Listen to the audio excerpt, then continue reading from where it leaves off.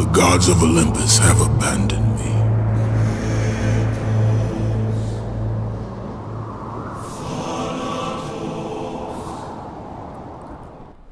Salve, salve, meus amigos e minhas amigas do Bragantino, mais uma vez aqui para vocês, trazendo conteúdo de primeira qualidade no YouTube. É de primeira qualidade porque eu faço para vocês com muito amor e vontade no meu coração. No vídeo de hoje falarei desta coisa maravilhosa que é God of War, o deus da guerra, o bom de guerra, do jeito que você quiser, aqui vale tudo porque o Ragnarok já está quase entre nós, certo? Na verdade, assim, muita gente já recebeu aqui e o Ragnarok já acabou, né? Teve muita gente que já zerou o God of War Ragnarok. Não é o meu caso, por isso que a minha expectativa para a chegada do Fimbulwinter é enorme. E no vídeo de hoje eu irei mostrar a evolução dos games nos consoles da Sony. Nada de portátil aqui, nada de celular, só nos consoles, ou seja, God of War, God of War 2, God of War 3, God of War Ascension e God of War 2018. E no final deixarei as minhas impressões do que eu estou esperando para o Ragnarok. É muito God of War. É God of War até dizer chega. Devo lembrar a todos vocês que este vídeo terá alguns spoilers dos games, né? Óbvio, então tome cuidado. E também deixe o seu like neste vídeo para chegar em todos os cantos do mundo. Se você não é inscrito, se inscreva, é rapidinho aí, você ajuda este papai aqui. E não deixe de badalar a sinetinha do Uva para não perder absolutamente nada. Eu vou pedir para você também ir lá no bardosgamers.com.br para não perder nenhuma notícia. E procura aí no seu streaming de música favorito o podcast Passo Controle toda semana episódios fresquinhos com a trindade dos games.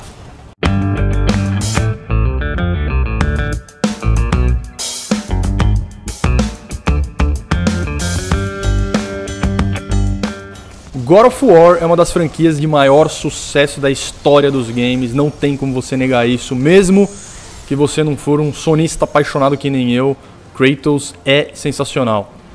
Ela foi criada por David Jaffe da Santa Monica Studio, lógico, né? E a obra foi iniciada em 2005 para a PlayStation 2 e rapidamente tornou-se o carro-chefe da PlayStation. Os primeiros seis jogos constituem na era grega da franquia: God of War 2005, God of War 2 2007 e God of War 3 2010 compõem a trilogia principal. Os dois primeiros foram lançados para PlayStation 2 e o terceiro no PlayStation 3. Depois teve uma prequel, né, que, os, que as pessoas gostam de falar hoje em dia, é uma prequela, enfim, que se passa antes, que é o God of War Ascension de 2013 também no PlayStation 3. E tivemos dois jogos para o PlayStation portátil, o Chains of Olympus de 2008 e o Ghost of Sparta de 2010. A franquia se divide em dois momentos e duas mitologias diferentes. A era da mitologia grega mostra Kratos seguindo um caminho de vingança devido às maquinações dos deuses do Olimpo. Ah, esses deuses são sacaninhas.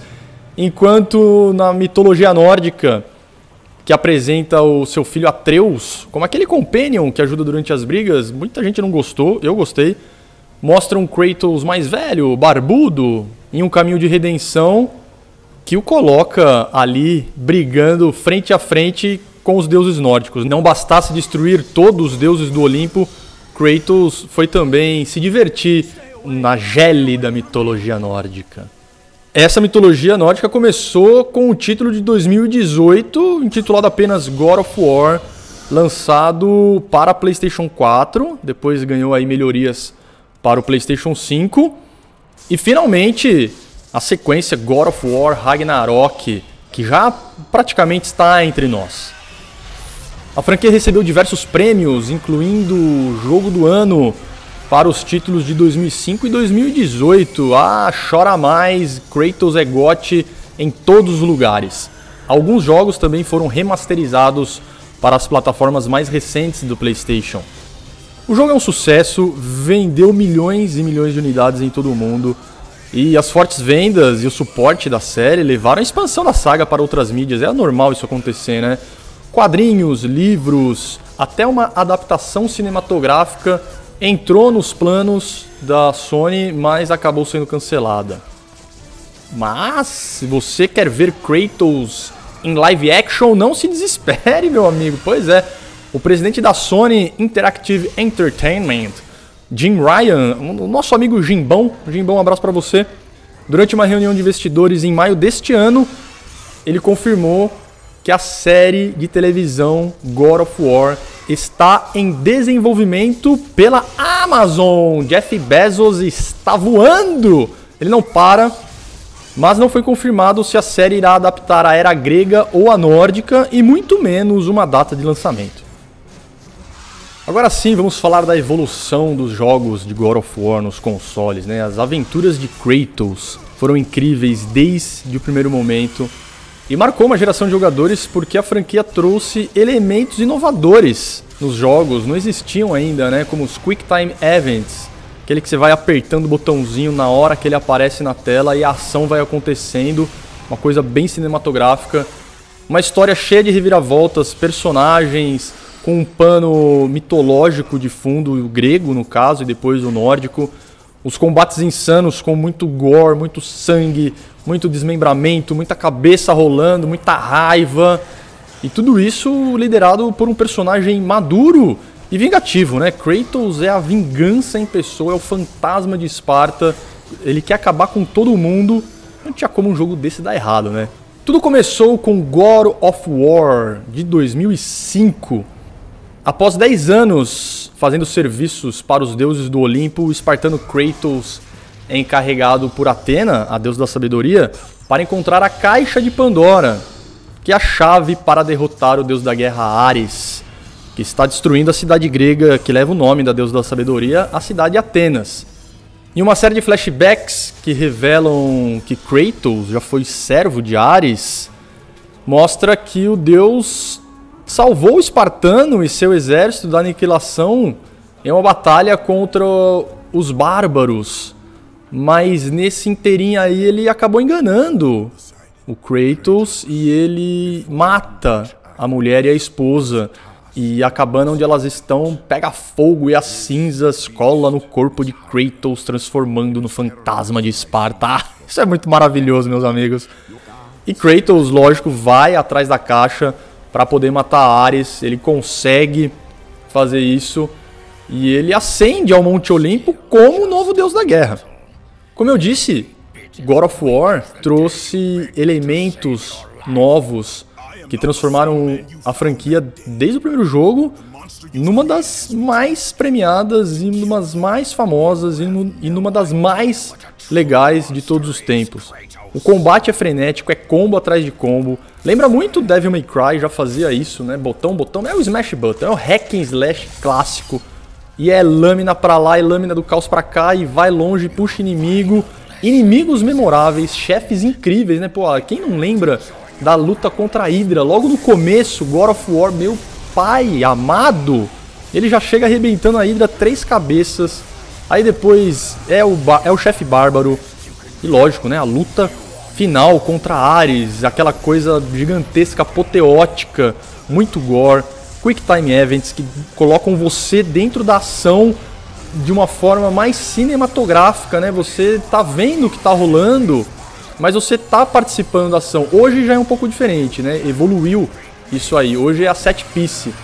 Você participa mais ainda da ação, controlando mais ainda o personagem. E a Naughty Dog é fantástica em fazer isso com Uncharted, por exemplo.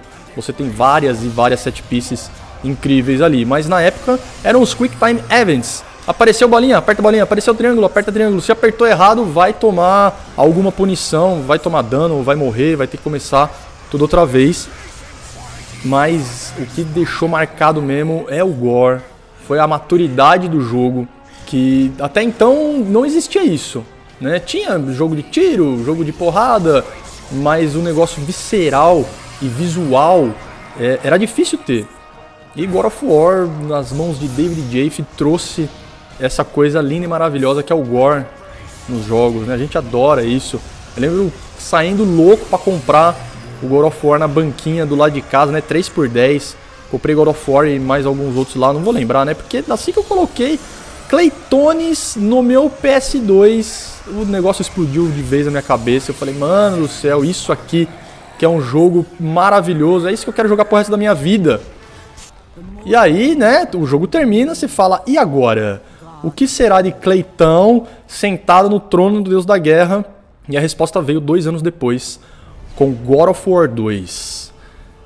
Ele estava irritado, né, com seus companheiros deuses que estavam aprontando todas. Kratos só queria ficar na dele lá, só que os deuses estavam aprontando, né, para variar, não estavam sendo legais com a humanidade, porque a humanidade também apronta. E Kratos desce até a cidade de Rhodes pra falar: e aí, né? O que, que tá acontecendo aqui? O que, que é isso? Porque o colosso de Rhodes está lá, né? Destruindo tudo. E o Zeus ele trai Kratos tirando o poder dele, transformando ele num, num, ser humaninho, qualquer novamente, meu amigo, tadinho de Kratos. Ele ainda é o Kratos, lógico, mas ele é, não é mais aquele deus da guerra grande e imponente. Ele é um humano diminuto e com a ajuda de Gaia, ele descobre que precisa encontrar as irmãs do destino para mudar o seu futuro e evitar que ele morra. Kratos é bem sucedido, lógico, nessa empreitada e chega até Zeus e fala qual é que é a tua, vim aqui para te matar, mas a Atena acaba entrando no caminho da, da Blade. Ela morre, ela se sacrifica na verdade, né, para salvar Zeus e preservar a vida do Olimpo, né? Porque se o Zeus morre, o Olimpo vai para o saco, os deuses não existem mais. E é neste jogo que o Kratos descobre que é filho do cara, que ele é filho de Zeus. E aí ele fica mais irritado ainda. Então Kratos une forças com a Gaia e os outros titãs para atacar o Olimpo e acabar com essa história toda. Infelizmente, o jogo acaba bem nessa parte, Kratos assim nas, nas costas de Gaia, né? Os outros titãs escalando o Olimpo e Kratos gritando: Eu vou ter a minha vingança, Zeus! E nossa senhora, você fala: Agora vai, só que aí o jogo acaba. Mas não tem problema, porque até então foi um jogo incrível. A história das Irmãs do Destino é muito legal. Você vai andando pelo deserto e, e, tem que escutar, você se orienta pelos cantos que tem no deserto, pelas vozes que tem nesse deserto. É muito maravilhoso. A história foi ampliada, né? Pô, descobre que é filho de Zeus. A treta com o Colosso de Rhodes é incrível ali, aquele bicho enorme, gigante. A, a gameplay continua a mesma, o mesmo esquema de câmera, o mesmo esquema do, dos combos, né? Algum outro elemento novo, mas nada que alterasse o núcleo, né? O que faz ser o God of War. Mas manteve ali no alto, cara, manteve no alto a jornada de Kratos nesse segundo jogo. E então veio o PlayStation 3 e todo mundo falando: "Ah, e agora? E agora, meu pai, meu Kratos? O que será de Kratos neste novo console, né, em Blu-ray?" Eu sei que eu comprei o jogo e não me decepcionei, porque o terceiro jogo começa exatamente onde o segundo parou, com Kratos sendo carregado por Gaia para destruir o Olimpo e dar início à Titanomaquia, que é nada mais nada menos que a guerra entre os titãs liderados por Cronos e os deuses liderados por Zeus. E lógico, né, aqui com Kratos no lado do, dos titãs, mas que é logo abandonado por eles, que só estavam usando este ser humaninho para aplicar a sua própria vingança contra os deuses, porque os titãs vieram antes e os deuses vieram depois, e aí tem a titanomaquia. Meu amigo, procure aí na internet que você vai saber o que eu tô falando, o bagulho é muito louco. E ajudado pelo espírito de Atena, mais uma vez, né, a deusa da sabedoria ajudando Kratos, ela instrui o deus da guerra a procurar a chama do Olimpo, que é a única coisa capaz de derrotar Zeus. Kratos ele envolve os deuses e os titãs em uma série épica de batalhas através do submundo e do Olimpo, até que ele descobre que a caixa de Pandora Sim, a caixa de Pandora lá do primeiro game está dentro da chama. E ele descobre que a própria Pandora é a chave para pacificar a chama e permitir que ele abra a caixa. A menininha Pandora tadinha, vocês vão lembrar dessa cena, dá um dó no coração. E depois ele parte pra porrada pra cima dos Zeus pra acabar com isso tudo, né? Ele consegue papai, briga de papai e filho, já vimos isso em várias, várias histórias, mais uma vez aqui, Kratos descendo a caceta nos Zeus. E Atena fala: "E aí, Cleitão, né? Matou, agora o poder é de você, né? Seria um capitão planeta? agora o poder é seu". Mas ele recusa o papel de novo patrono da humanidade e some, né? A gente sabe para onde ele foi depois, mas ele some sem deixar um rastro para Atena seguir. O God of War 3 é assim de uma beleza ímpar, porque é um jogo basicamente de boss battle. Toda hora você vai ter um chefe para enfrentar. E não é um chefinho, não. É um chefão, porque são os deuses. Então tem Poseidon, tem o Hermes, tem os Zeus, e aí ele detona os titãs também. A luta contra o Cronos, meu amigo, é unha, é pele, é dente, é tripa voando para tudo que é lado, é maravilhoso. Ele acaba com todos os deuses do Olimpo, arranca a cabeça, arranca a perna. O combate final contra Zeus é uma das coisas mais legais que existem porque ele foi dividido em vários momentos. Primeiro tem a luta tradicional com aquela câmera já clássica do God of War, depois eles montam uma luta no estilo Street Fighter, Mortal Kombat, assim, 2D, você lutando contra os Zeus, e aí depois volta para a luta tradicional, e aí ainda tem primeira pessoa, meu, é incrível. A luta em primeira pessoa contra, contra Zeus é uma coisa maravilhosa. O jogo é frenético do começo ao fim. Tem lá os seus Quick Time Events, tem os quebra-cabeças que foram famosos, né? Fizeram fama nos três primeiros jogos, tá tudo lá.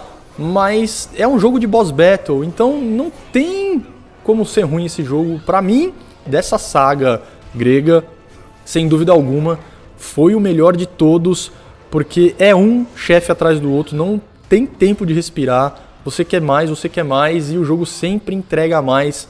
É uma coisa incrível, mas infelizmente o que não é incrível foi o jogo que veio na sequência, God of War Ascension de 2013. Todo mundo esperando, né? Fala, pô, velho, vamos, vamos pegar aqui mais um, mais um jogo do Clayton, mais um jogo de Clayton.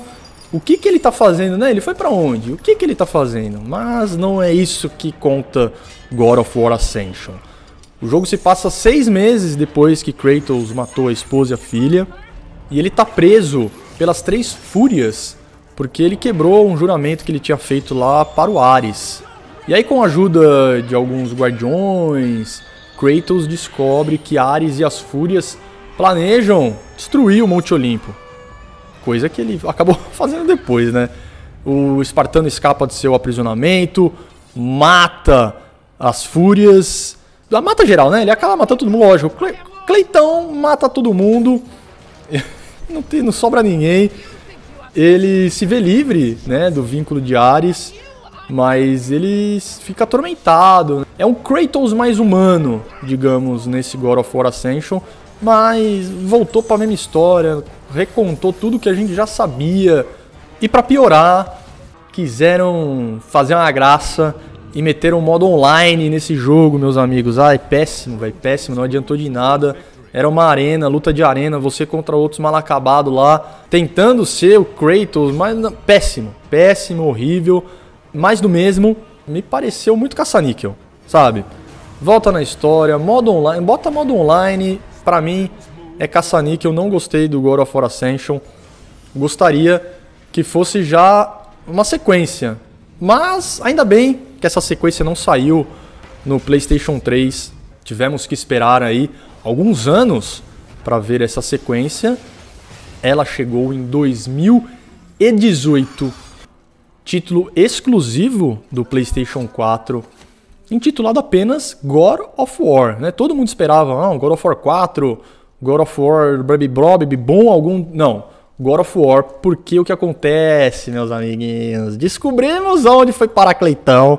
Muitos anos após os eventos de God of War 3, Kratos perambulou, perambulou, perambulou e acabou no mundo da mitologia nórdica, no reino de Midgard. E ele tem um filho chamado Atreus, Kratos barbado, com a voz imponente, belíssima de Ricardo Juarez. Um abraço, meu amigo Ricardo Juarez. E aí o que acontece? Kratos e Atreus vão jogar as cinzas de Fei, que é a mãe de Atreus. E os dois partem nessa jornada para cumprir o desejo final da, da esposa e mãe, que é jogar as suas cinzas no pico mais alto dos nove reinos. É, é muito bonito isso, cara, é muito bonito. Ao, longo da jornada, eles são atacados por quem, né? Quem aparece? É o estranho? Quem é esse cara? É o estranho? É o Baldur.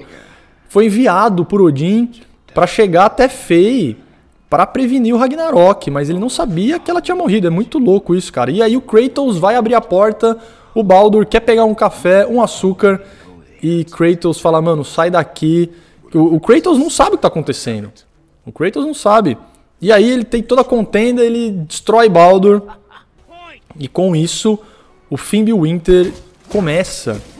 E depois o Ragnarok vem na sequência. E tudo isso não devia ter acontecido, por mais de 100 anos pelo menos. Ou seja, Cleitão, mais uma vez, meteu o dedo onde não era chamado e causou toda a desgraça do mundo nórdico, do mesmo jeito que ele tinha feito lá com os deuses da Grécia. E enquanto a mãe de Baldur, Freya, jura vingança contra Kratos, ah, você matou meu filho, ele e Atreus completam a jornada levando as cinzas de Fei até o pico mais alto e lá descobre que ela era uma gigante de Jotunheim, né? Este pico mais alto fica em Jotunheim e ali é revelado que Atreus, na verdade, é nada mais, nada menos que Loki Loucura, meus amigos. Ai, rapaz, e Atreus é o nome que Kratos escolheu em homenagem a um ex-camarada qualquer lá espartano que, que lutava ao lado dele. O jogo mudou completamente o esquema que a gente conhecia de God of War. O Cory Barlog, que deu esta renovada, trouxe para a equipe dele o Rafael Grassetti, diretor de arte, que criou toda a, o visual de Kratos, né? Ficou na mão do Rafael Grassetti, que depois virou o diretor de arte de, de God of War. Trouxe uma arma nova, o machado Leviatã ao invés das lâminas, né? Você começa o jogo com o machado Leviatã, você fala, o que, que é isso? E você joga e ele volta tal qual o martelo de Thor. Olha isso, já a referência muito louca. E é tudo novo. Mitologia nova, combate novo, câmera no ombro, aquela coisa terceira pessoa que a gente adora. Kratos madurão. Temos um Companion dessa vez, né? O Atreus Muita gente não gostou dele porque ele mais atrapalha nas lutas do que ajuda, né? Alguns falaram, mas eu adorei porque a dinâmica de papai Kratos e filhinho Atreus é uma das coisas mais legais que existem em toda a história dos games. Tem o Machado Leviatã, que introduz um novo tipo de combate, magias novas, inimigos novos, cenário novo, enfim, tudo, tudo novo. Eu adorei essa mudança, era uma mudança necessária era a mudança que eu queria no God of War Ascension. Mas imagino eu que na época o hardware, né, o PS3 não comportaria, não suportaria tamanha mudança, né? Só pegar o The Last of Us, o primeirão, foi o canto do cisne do PlayStation 3. Dá para imaginar que não seria capaz de rodar o God of War 2018. Então, chegou no momento certo, tudo novo. Ai, mas o Kratos não pula. E daí que ele não pula, meus amigos? Ele pula na hora que tem que pular, ele dá uh, o quebra-cabeça na hora que tem que ter o quebra-cabeça. E muito. Uma mitologia muito mais expandida logo no primeiro jogo. Tem os filhos do Thor, tem dragão, e tem o Baldur que não sente nada. Tem os anões que ajudam ali a construir as coisas de Kratos, né? Elementos de RPG, você melhora as suas roupas você desbloqueia armaduras novas, você vai melhorando o seu machado e depois, lógico, ele encontra numa das cenas mais épicas e rolou uma lágrima no meu rosto, eu preciso confessar isso.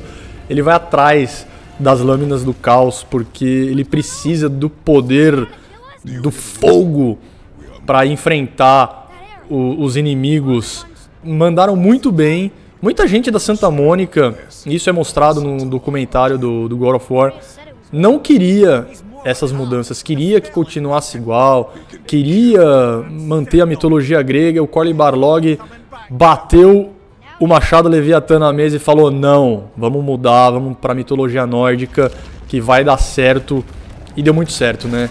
foi o jogo do ano de 2018. Aliás, 2018 só teve jogo bom, incrível. E God of War levou, né? Então eleva o game a um outro patamar. Pô, ele bateu Red Dead Redemption 2, meus amigos, que, né, poderia muito bem ter levado o GOT de 2018. Tivemos Homem-Aranha do jeito que a gente nunca viu o Homem-Aranha no jogo, né? É, realmente você tava na pele do Peter Parker, mas cara, Kratos comeu todo mundo no café da manhã, palitou os dentes com o que sobrou de Arthur Morgan e ganhou o GOT de 2018 incontestável. E tudo isso nos leva a God of War Ragnarok. Ai, que emoção, tá quase chegando, meus amigos. Ele foi anunciado em setembro de 2020 e está programado, está programado não, né? E será lançado no dia 9 de novembro no PlayStation 4 e PlayStation 5, marcando o primeiro jogo da série na Crogen. Até então não existia essa coisa de Crogen, era ou um console ou outro, mas dessa vez quiseram atender aí aos donos de PlayStation 4. Ah, é, é muita essa parte do Crogen, PlayStation 4 envolve Covid, muitas coisas. A gente pode fazer um vídeo aqui depois para tentar explicar isso melhor. Mas no PlayStation 5, com todas as melhorias, DualSense, áudio 3D, e os 60 frames, e o 4K, enfim, do jeito que tem que ser no PlayStation 5 e com certeza o God of War Ragnarok será o canto do cisne no PlayStation 4. É, depois dessa, não teremos Kratos no PlayStation 4, pode ter certeza. E a minha expectativa nunca foi tão grande para este inverno infinito que não acaba nunca. Eu estou contando os dias. Eu quero bater no Thor. Eu quero. Eu, o Baldur podia voltar, hein, velho? A treta com o Baldur seria legal demais. Quero Fenrir, quero Hela, eu quero Surtur. Ragnarok, quem causa Ragnarok, né? Você viu? Você viu no Thor Ragnarok? Surtur com a sua espada flamejante. Eu quero esse cara. Eu quero Fenrir. Eu quero todo mundo. Mas principalmente eu quero Thor. Eu não vi nada. Eu estou blackout total no God of War Ragnarok para não tomar spoilers. Mas por conta daquele pós-crédito no God of War, eu tenho para mim que o Thor vai aparecer logo no começo. Eu imagino que seja mais ou menos igual contra o Baldur, né? Vai ter a tretinha, ele vai embora e depois volta pra treta final. Mas eu quero matar o Odin, o Caolho, o pai de todos. Eu, eu quero, eu quero o Fenrir. Quero montar o Ferrir. Eu, eu quero arrancar a cabeça do Surtur. Eu quero fazer tudo isso. Eu quero pegar o Mjolnir.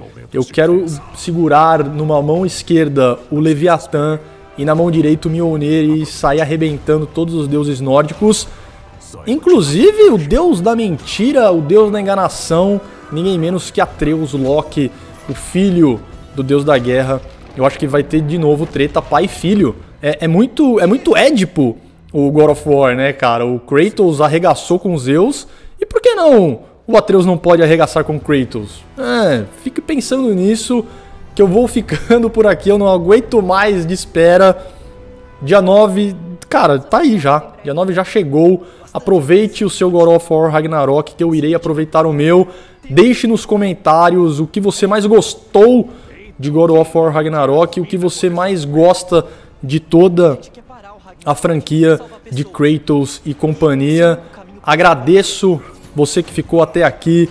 Não se esqueça de dar o like nesse vídeo, ajuda bastante. Se você não é inscrito, ah, meu amigo, minha amiga, se inscreva! Este vídeo aqui tem que chegar lá no Core Barlog. Meus amigos Core, um abraço para você. E também badale este sino para não perder nenhum vídeo novo. Muito obrigado e até a próxima.